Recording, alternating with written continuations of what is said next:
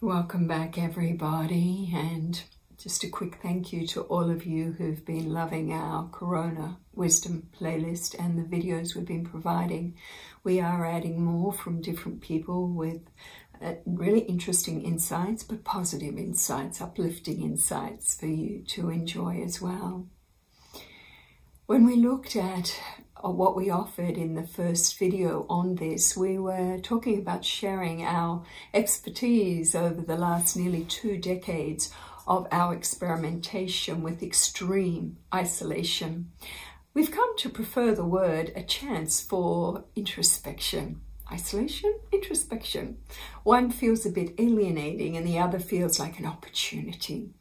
And so for years, people have been gathering with me for this social and individual experimentation in our annual dark rooms. And we really should be starting one tonight, but planes grounded, borders closed. That's not happening. As we said in the first video, there are many things we've learned that are so applicable to today and what is happening all around the world. In our first video, we shared stories and gave you a great exercise of good use of mental energy, the mind mastery. And that is the real honest assessment of your life. Taking this time for introspection, for retrospection, for honest assessment to talk about, look at you with you about how you've been creating your reality up to this point as our world gets a breather. We're already noticing great things happening on many, many levels, and many people, friends in China, have been in isolation for some time now, so they're ahead of the game. But the majority of our audience really is coming in from the United States where this is just beginning for you guys. So let's go on. We said the mastery of the mind is crucial because if you don't use mental energy wisely and feed yourself well mentally, you're going to drop your emotional state, which will have a huge influence on your immune system. And we need to keep the immune system strong. But here you are. You can be bored. And if you're bored, it's because of how you're using mental energy, but also time. So in this video, we want to go on to the mastery of time, locking down, but locking in to a new way of being. Everyone, my friends are saying, oh, it's peaceful. There's not much traffic around. I can hear the birds again. The air smells better. Everything is like, Ah, it's like we've given our planet a breather from this constant production and pollution and factories and cars, all of that. So can we give ourselves this breather too? So mastery of time is one of the things we really encourage in darkroom because if people don't, they get really restless and they can't drop into the gift vibration that is there. Sometimes they, um, they're unhooking, remember from internet, you guys have that, but a lot of the time it's like busy, busy, busy, busy, busy on the, our little devices. So we're not even present in the world. We're not even present with each other. So sometimes, this is a funny story to demonstrate this point, but a few times I've come out of darkroom and people come up to me and they look at my third eye and they go, wow, you have a green third eye or a blue third eye or a violet third eye. And I go, yes, and three, four days ago, I had a big egg on my head from where I damaged myself by hitting a wall or walking into a, a, door frame. And then they laugh because they think it's something mystical. So, ooh, Jasmuheen has a very bright third eye with colour. No, I damage myself. Now, what we've learned in Darkroom is we can get around really, really easy and be very happy about being in deep isolation when we slow it all down. If I am living in the past, in darkroom, in my head, if I am living in the future, in darkroom, in my head, in other words, I am not present in the now moment, that's when I hurt myself. And that's when others hurt themselves. And this is a great analogy. I have learned for me when I'm doing yoga at home, I get distracted. In a yoga class, it's great because it's an hour and a half and you go through the whole routine. But when I'm in isolation at home, it's like I'll be doing my yoga, I'll look out across the valley, the sky is blue, and I go, I could go to the beach, or I get distracted because I have vision and I don't focus on really being present I get visually distracted sometimes, and you will find that now as well. You might hop from one thing to another, and then you get bored because oh, I've read that book and I've read that, and I've been binge watched this TV show, and I've talked to everyone on WhatsApp, or you know. But in Darkroom, I know when I can slow it right down and go present, totally present, mind into matter I can easily do a three hour yoga session because now I'm present. Now I'm talking to my body. I'm feeling my body. I'll listen to my body. I can feel which asana needs to flow to, from one to the other according to how the muscles are responding in my body. So one of the things people love about darkroom is how we can transcend time. Now, the secret to time transcendent is our ability to be fully anchored in the now moment, where everything we do, we are doing slowly and with mindfulness, with presence. So we invite you as you're going into lockdown to lock in more and more to train yourself to be purely present as presence in each now moment because that way we can speed up time, we can slow down time, we can control time. One of the things we invite people to do before they come to Darkroom is download the audio of Eckhart Tolle's Be Here Now or, or The Now Moment, Being Present in the Now, his book, The Power of Now. Also, the Be Here Now book is great as well.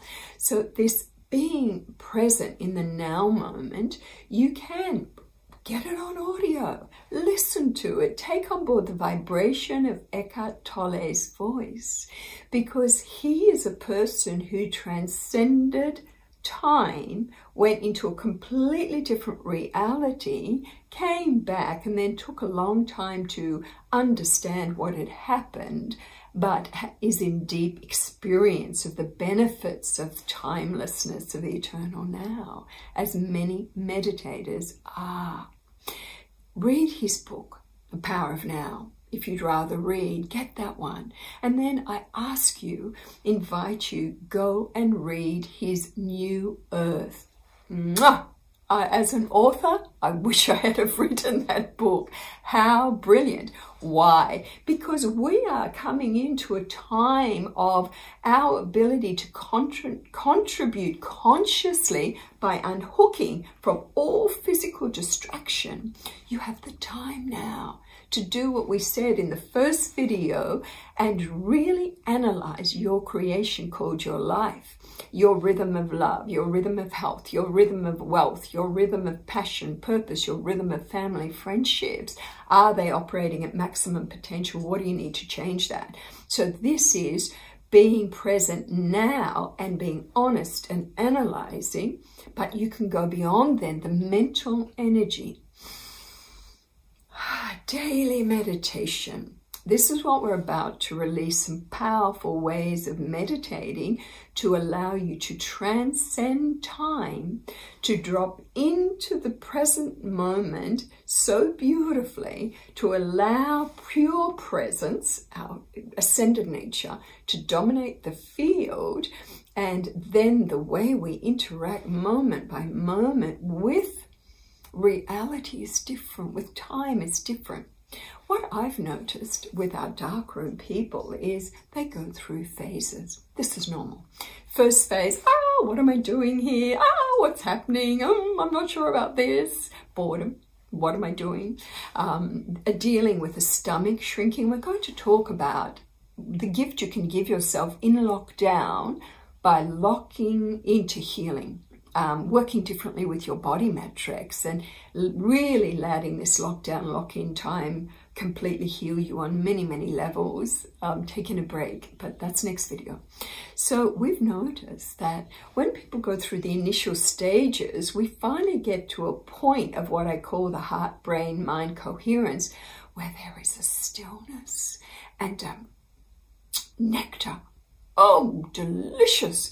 When you are in a field of powerful meditators and you don't have to do it in physicality, you can start hooking now into global meditations. You can start participating by vibrating in the pure love zone with the meditation we gave you and be present with that love transmission.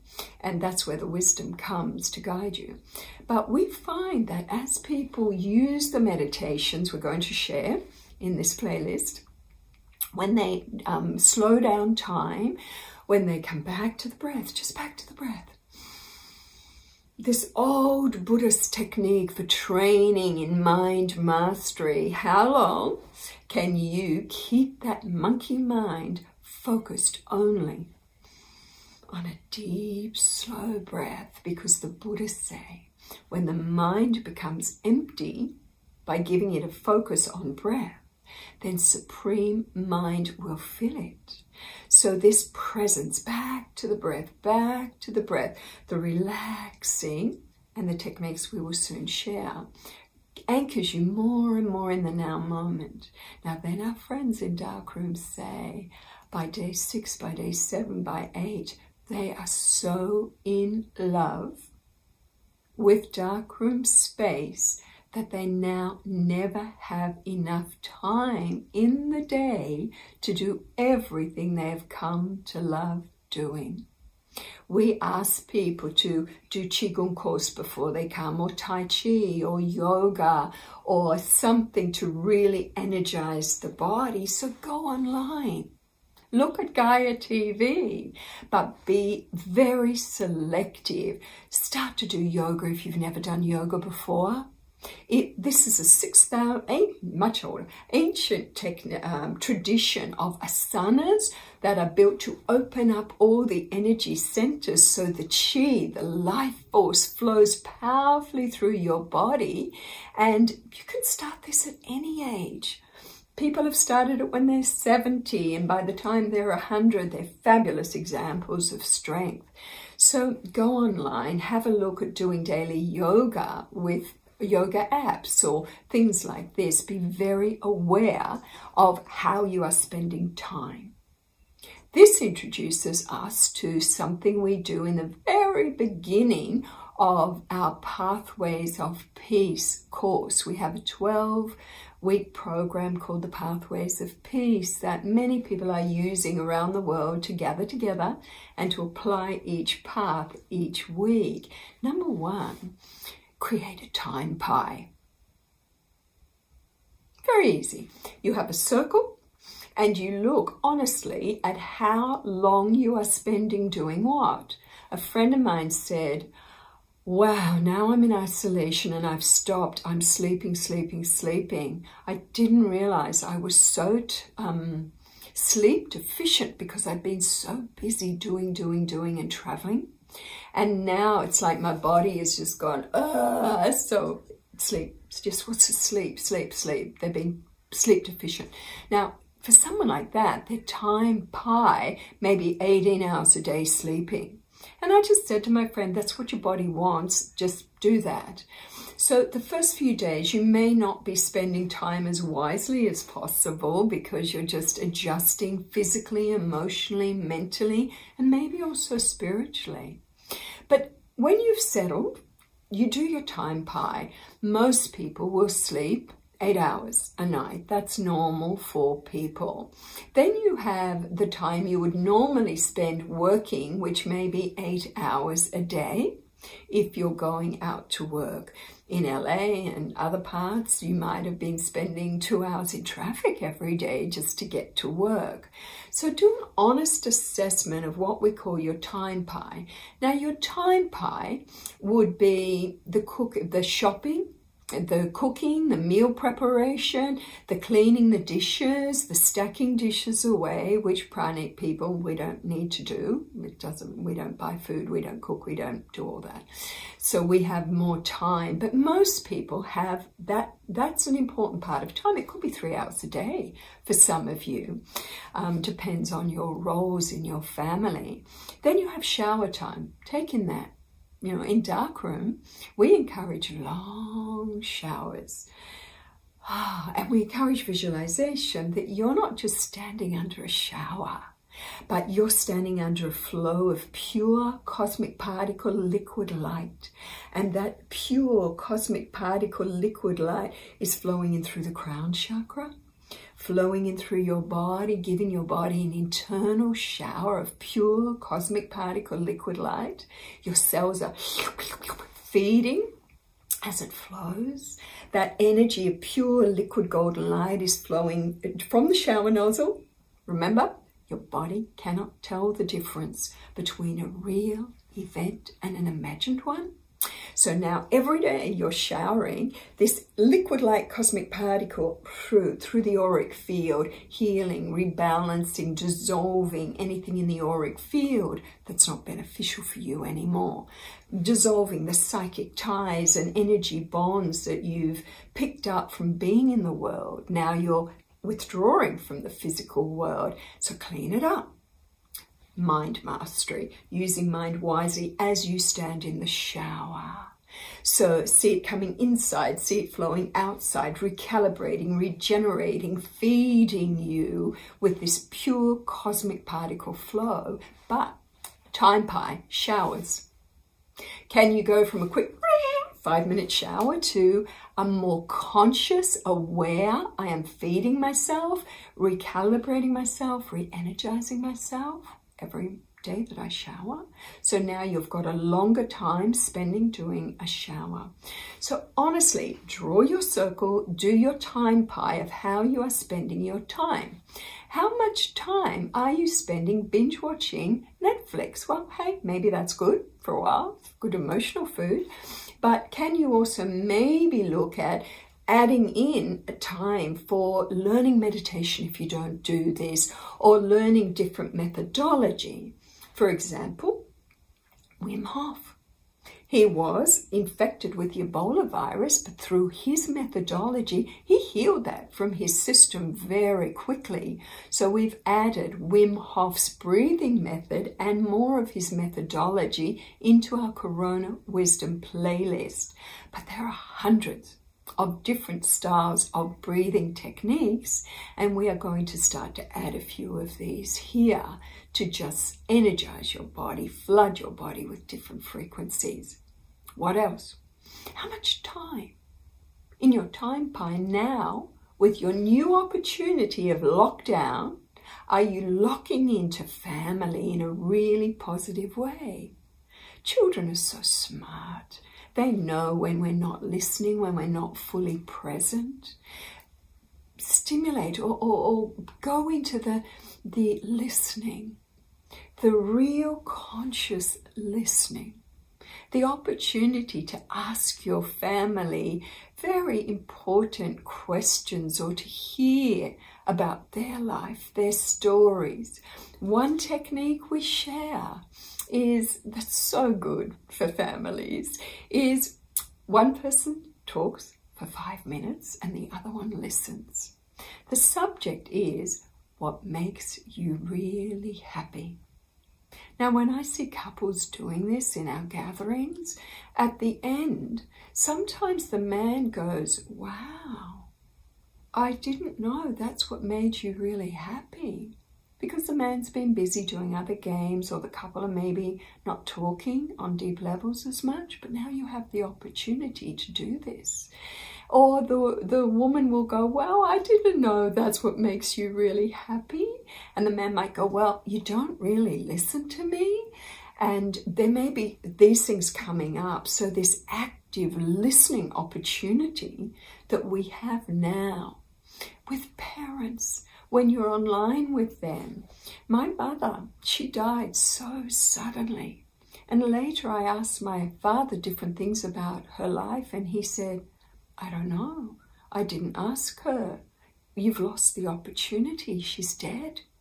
And it was sad. It was like, okay, Dad, you and I, we're gonna, I'm gonna ask you a lot of questions about your life because I want to know your stories. And he responded so beautifully. He was like, whoa, my kids are really, really interested. And I was.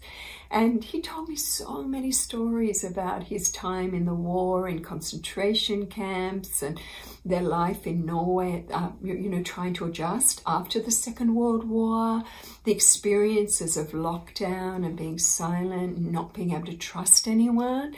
And I understood so much more than about my childhood as well through listening to all the experiences he went through. So take the time Take the time to unhook every day, to put in your time chart to periods of active listening to each other, to really find out where the, you're at in your realities and just listening to your parents. How long have you got them for? Listening to your children who often feel like they're not heard. So we have an amazing time to lock down and lock into a whole different way of being. I do, do, and I have invited people to do what I love and why list. Take the time. You got time? Get a journal. Right, this is my journal. I'm always writing so much stuff. Do it what I love and why I love it list and then start to share it with your family if they're interested. Hey, do you want to read what I love to do and why I love it list? And you can find out so much more about each other, but don't just do the list, start to do more of that. For example, I love music. I'm not a good musician, I've had no training, but every day I play on my keyboard, but I play intuitively. Be present as presence. Be very focused in the now moment. You might find, as I did, that you have had training as a musician in another line of time. And when you can be totally present in the now moment, that you can step into the now field, take over your body, and you can play music that was like, wow, because I can play the keyboard so well without training. Though I've had no training. But as soon as I get into my mind and even go, wow, I'm playing it so well, I can't play anymore. Because the now moment me, or the personality me, has not had that training this life. But the now moment essence me where my multi-dimensional self is starting to rise and dominate can easily pull in training from past, present and future timelines and gifts for me to experience in the now moment. So this transcendence of time by now moment training is one of the most powerful gifts any of us can give ourselves in life. What I find as I do this day to day is that I stop being the being who does the busyness of doing, that's more beta brain, beta brain, and I find that the pure beingness that I am does the doing in my life, magnetically attracting and setting up everything so it becomes an effortless experience of life because it's all magnetic attraction and I am not in mental energy analysis or blocking of a much higher paradigm that can come through me when my essence dominates and the pure beingness that I am energetically does all that needs to be done. Wow. So this is Jasmuheen here, just sharing with you a little more about another tip that we have found huge in darkroom to the degree on the last day when I say to people, okay, we're coming out today, many go, but I don't want to. I love it here. Their bodies change, the physiology, the physical physiology from the lifestyle we live, they're functioning better than they ever have before. And we're going to talk about the physical physiology changes that you have an opportunity to lock into now in our next video.